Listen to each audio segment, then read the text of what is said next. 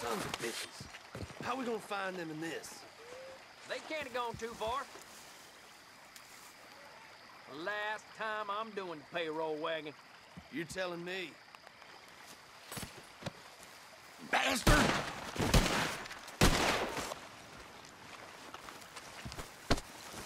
Made a meal out of that, didn't you? This is a man game.